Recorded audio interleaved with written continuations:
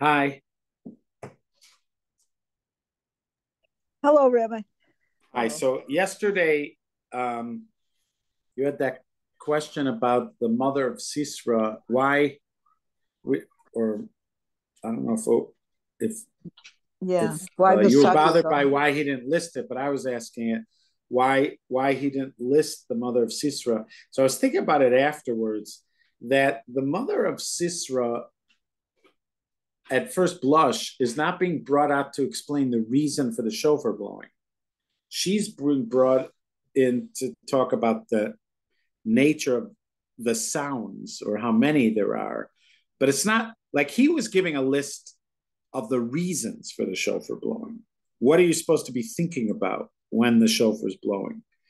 So I don't know if they would say that you're supposed to be thinking of the mother of Sisra. I was the one who was extending it to the notion of the mercy of mothers, of the Rahmanas, the, the Rahamim of mothers, um, and making it broader that the mother of Sisra is part of a kind of pattern um, of uh, evoking mothers who are concerned for their children. But the so so you could say that one of the things we're thinking about is is, is evoking God's mercy, like the mercy of a mother for a child. But but that's not necessarily when they bring up the mother of Sisra, they're mostly bringing her up as a model for the sound. What you, right. what what, is, what you were looking for the sound. So you could say that's why Saadia Gaon doesn't bring it because it's not right right not specifically but uh, i while i was looking it up i did find this um, this is uh, somebody had a, a on Sefaria when you search now for something you get amongst the things you get offered are source sheets that people are putting together on Sefaria so hmm. this person had a source a source sheet where they had Rav Saadia Gaon's reasons and then they added something from the Lubavitcher Rebbe. It says here, Slichos 1962. I don't know if they're paraphrasing from it. I don't know. It doesn't, it's still hard to tell. But, anyways, it says, blowing the shofar is the unique and special mitzvah, which is an integral obligation of Rosh Hashanah. The mitzvah of shofar is not a gathering of multiple musical instruments, but rather it is by necessity one instrument. Furthermore, it is not a complex instrument that is capable of playing exceptional compositions. The shofar, perforce, a simple animal horn, and as our sages say in Rosh Hashanah 27b, all sounds are kosher for the shofar. The shofar emphasizes, in other words, the quality of sounds. The shofar emphasizes that our presence of mind must be first and foremost focused on the individual our emphasis must be on infusing holiness even into the common parts of our daily lives. Then the focus shifts to how the individual is part of the community.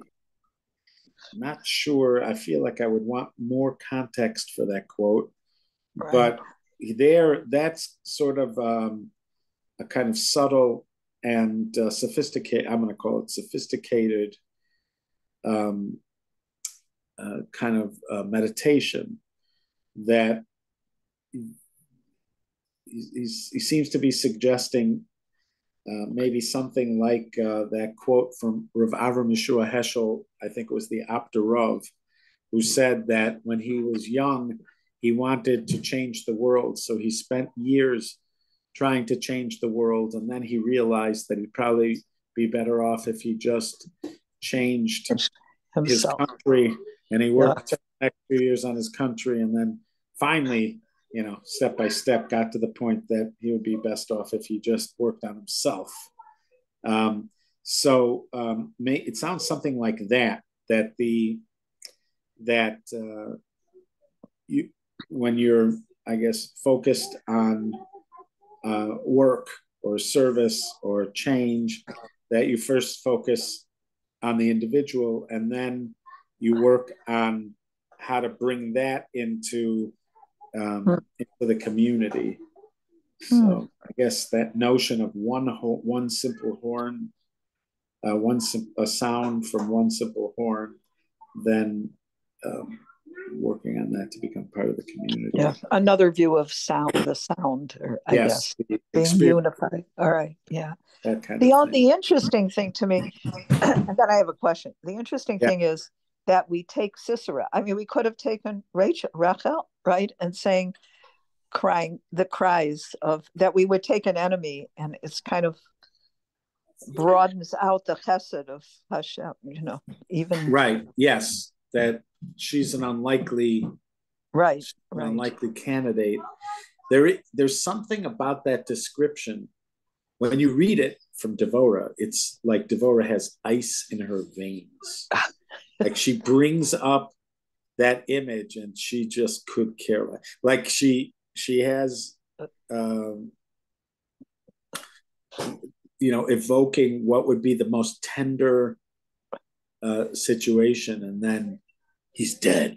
You know, like, yeah, mean- yeah, um, but um, yeah, yeah. yeah. The fact So- that we recognize that she's still a mother. Right, right. That whole idea. Um, someone asked me last night on Shabbos when we don't blow the shofar, do we still say the shofarot for the ten You do. In Oh, in you do. Musaf, you do. You do. You do say it. All right. Right.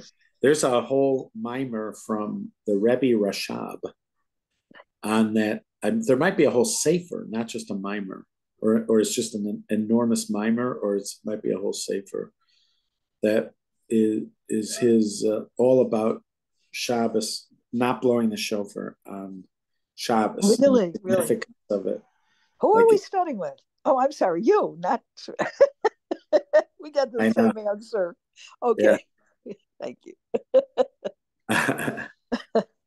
okay. Um, website. May I just say one thing? Yeah, David, go ahead.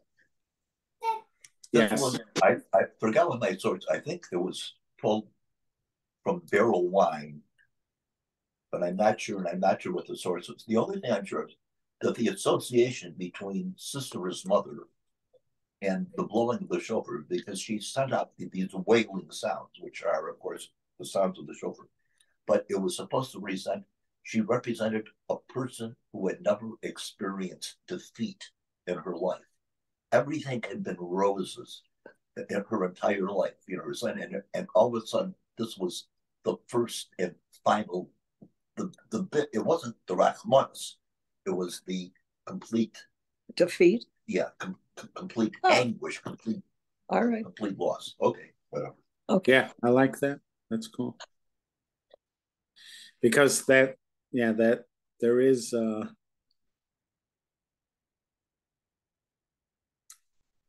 I've had this conversation with uh I don't remember why I was talking with Shmuel about this, but you have that guy who wrote um the book Black Swan, Taleb, what was his name? Uh, Taleb. Taleb. Yeah, so he was featured by Malcolm Gladwell in one of his books. And uh, apparently he had a fund that uh, would benefit, it was designed to benefit in a black swan kind of moment. And this fund was set up before 08, you know, and so it, he, he was talking about how um, for a few years, when there's the heady time where it's sort of like anybody is making money, um, but violating all the basic rules of investment and um, um, so there's like a period of time where you're reminding people buy low, sell high, and etc. And the dangers of leveraging yourself too much, and but nobody's being punished for mistakes. I mean, everybody's getting rewarded. And then suddenly, that's the thing about these black swans is that when they happen, they happen to devastating effect. And it's not like the person who didn't follow the rules is just, um, you know, stung and you know has to regroup after a minute. There, there's nothing left when they when they finally when when it finally happens, they're completely wiped out uh, in many of these cases. So um, I, I, was giving the example of, uh, for some reason, he didn't like this example. I don't know why, but I was giving an example. I was trying to illustrate this by saying, let's say you have a guy who is insisting that housing should be built to withstand a category five hurricane uh, or some kind of level of hurricane that Florida never experienced. Or and but he's saying that one of these is going to come and if and everybody should build their house to be able to withstand this kind of hurricane.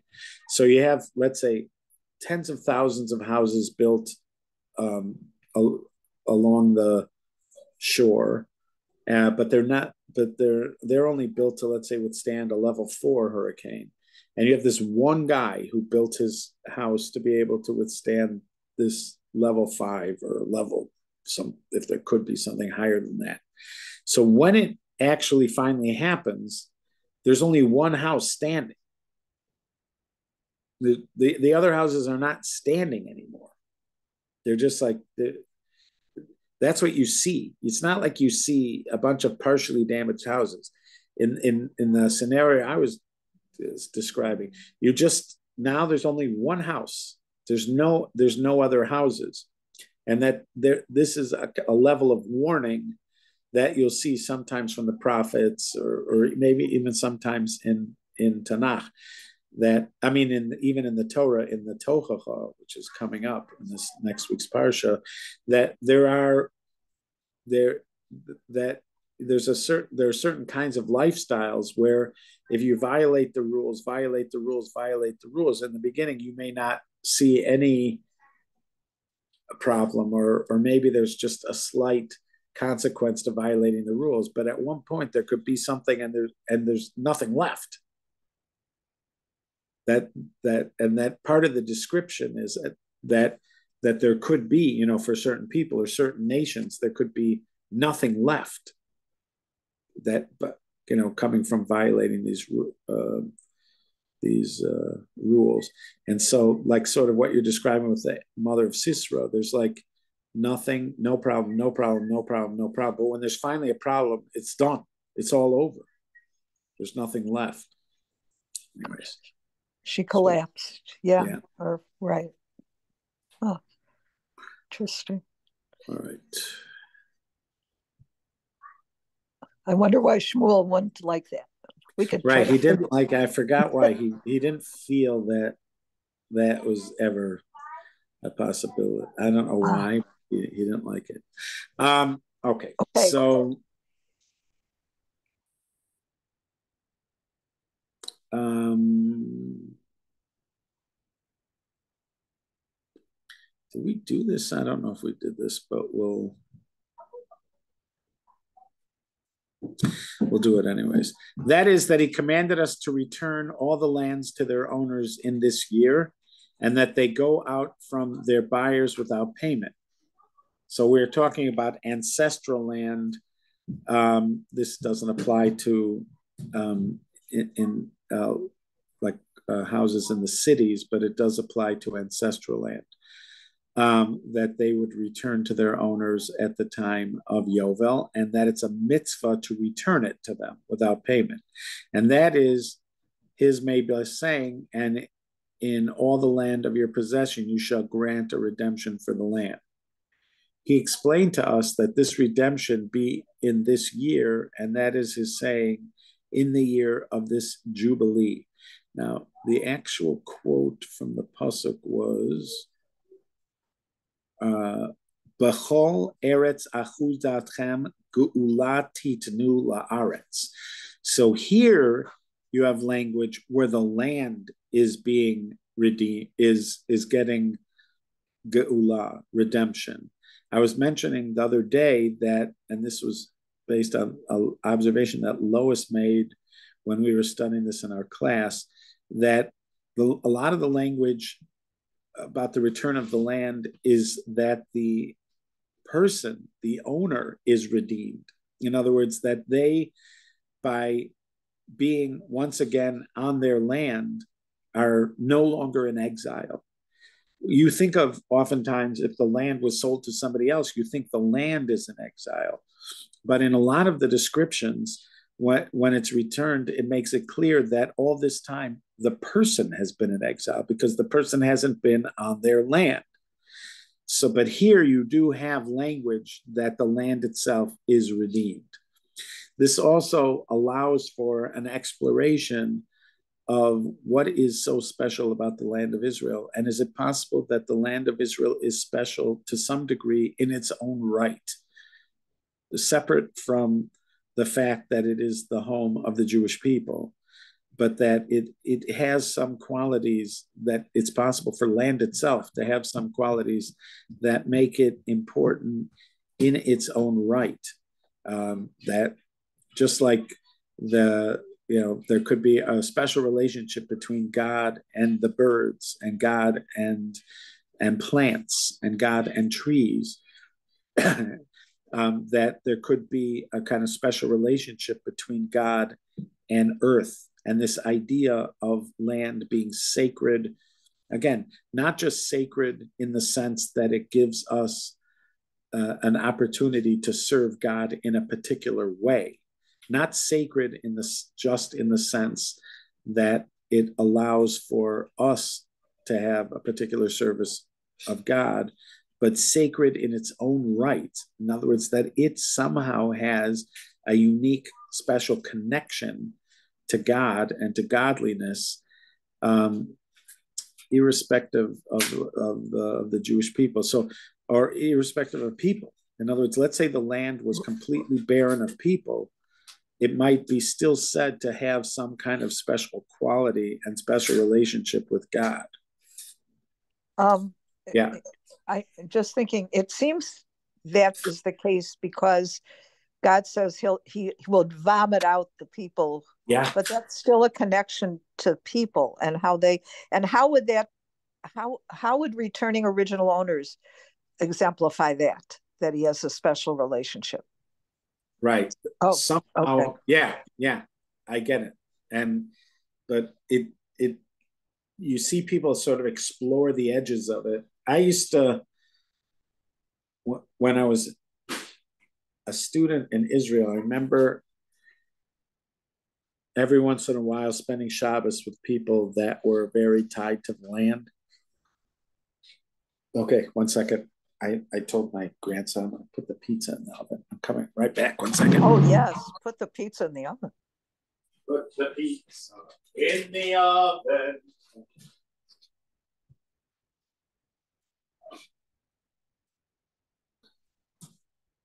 We have a, oh, we put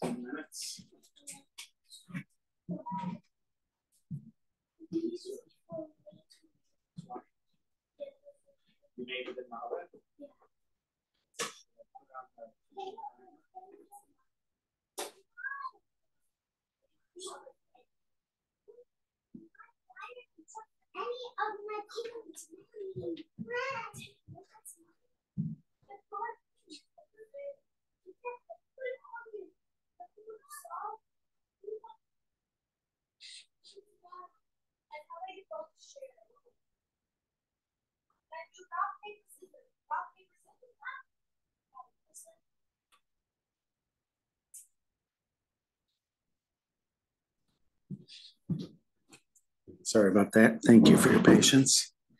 Um, yeah, so um, I don't know why, but when I reflect back on it, there was a particular period where I just remember a lot of people saying different about the land and exploring those edges. I know it's hard to get to a place where there's not something being said that has to do with people, but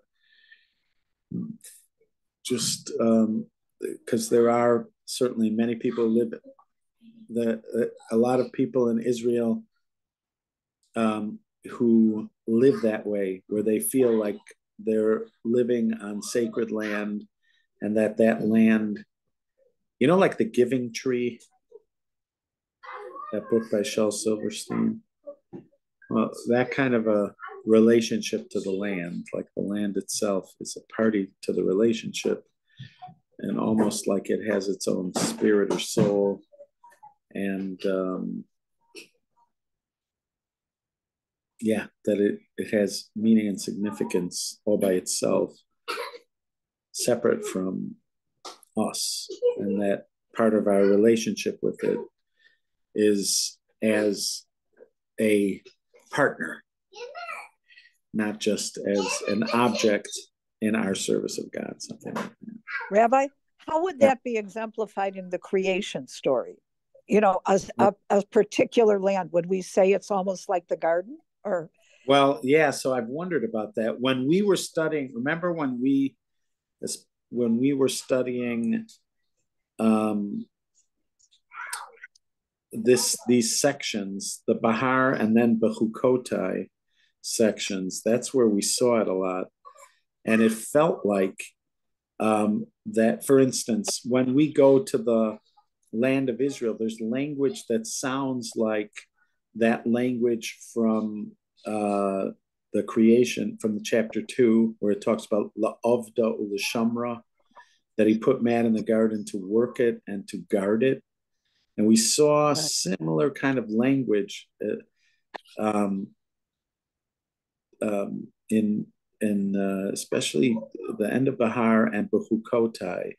We saw that kind of language uh, that suggested that somehow when we're in the land of Israel, we are fulfilling that um, that uh, directive of la'avda ulashamra.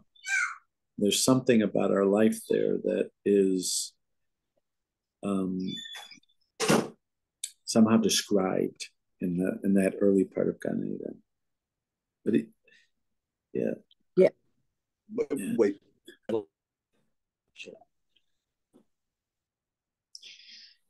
You know, there is a way to look yeah. at at the creation story that um, that suggests that we aren't separate from the land, that human beings are are part of the land, that we're an expression of the land.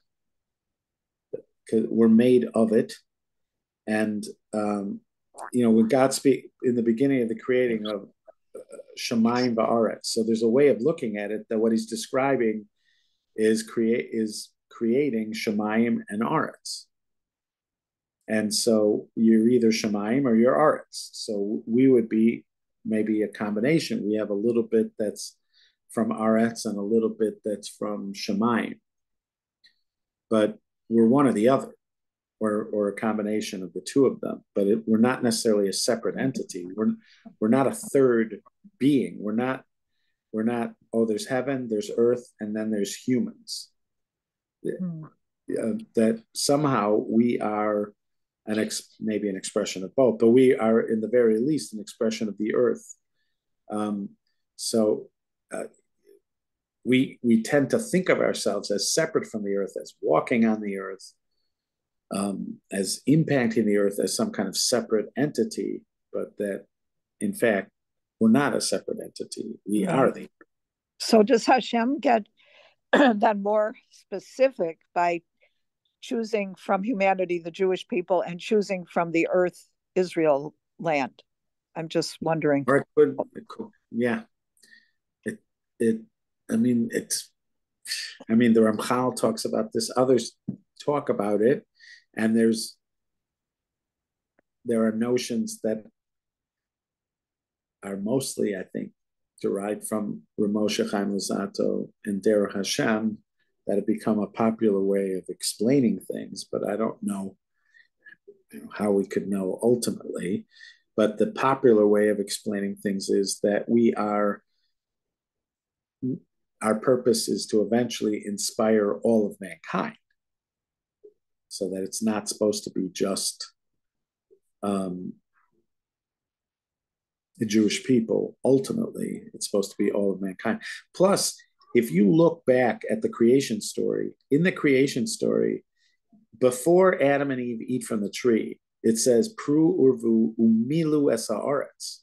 It doesn't seem like the goal was to stay in Garden of Eden, or at least that maybe some would stay in the Garden of Eden, but it doesn't seem like that was the goal. The goal was to fill the earth.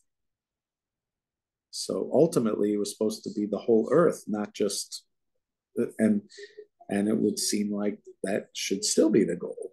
That it's that that somehow God's plans include the whole earth, not just the land of Israel.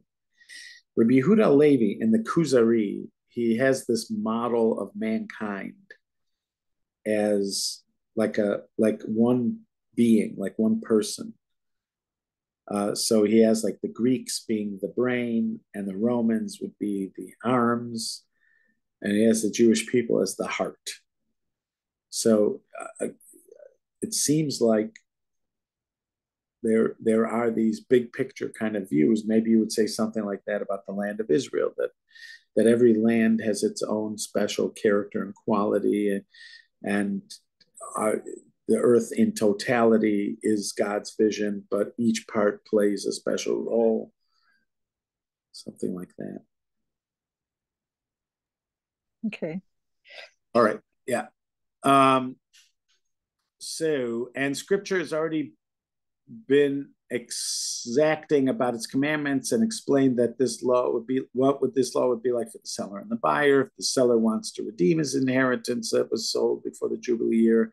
And it explained further and said that this law in particular to the lands that are outside of the city wall i'm sorry this law is particular to the lands that are outside of the city wall and that the laws of houses built in the fields is exactly like the law of orchards and gardens, since they are not built within the wall.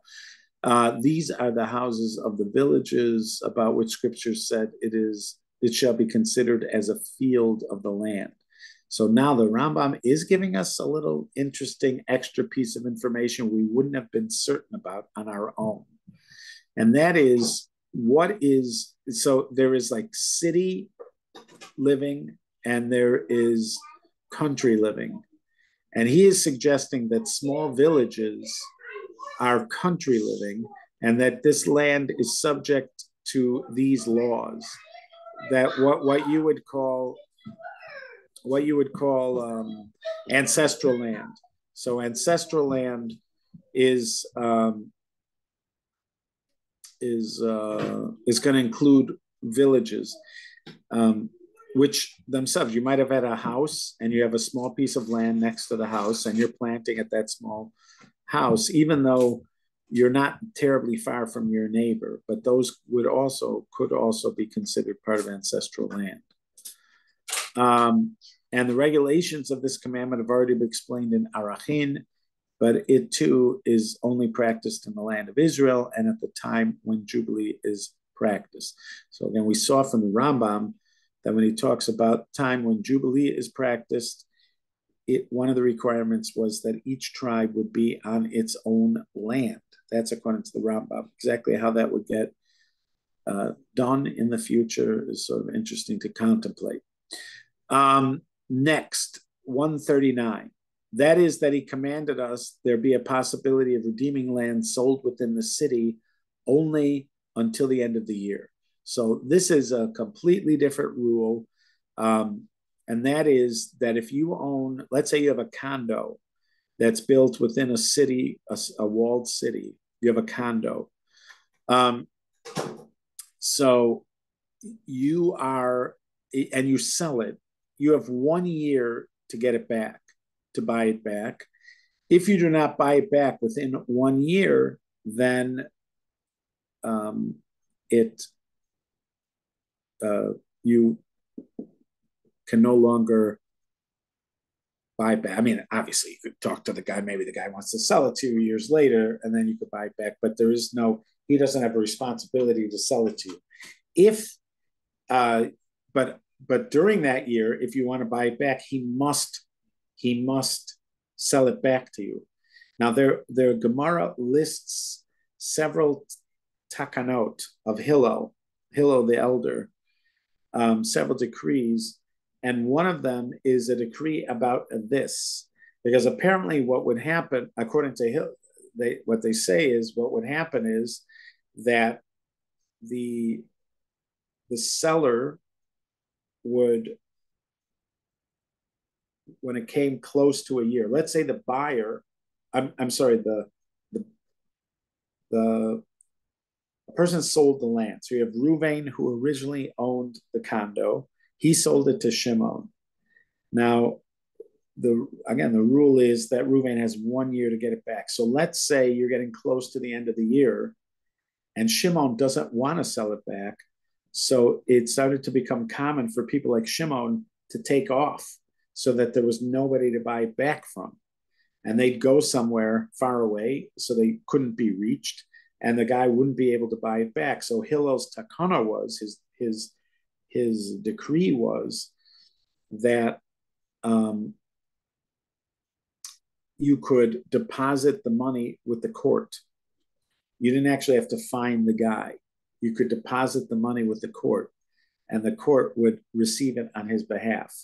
So even though the guy didn't want you to receive it on his behalf, and he's run away, but that was a decree of Hillel, so that people would still be able to redeem their property after they sold it. The problem with this decree, and it brings up all sorts of discussions, is how did you still have the Jubilee year in the time of Hillel? If, if according to the Rambam, you require everybody uh, to um, if, that if you require everybody to uh, all the tribes to be in their place, um, certainly that was not the case in the time of Hillel. Hillel lives 50 years before the Common Era. The uh, tribes were clearly not all in their place. You, you, you didn't have access to um, all of Israel at, at that time, and certainly you didn't. We didn't even know a lot of the different tribes uh, they were at that time. They they certainly weren't all in their place. Uh, if we'll notice here, he does. It's interesting. He doesn't. Rec- he doesn't mention here that that the laws of the jubilee have to apply. He says, "This has commanded us that there be a possibility of redeeming land sold within the city wall." Only until the end of the year. And after that year, it remains with the buyer and does not go out in the Jubilee year.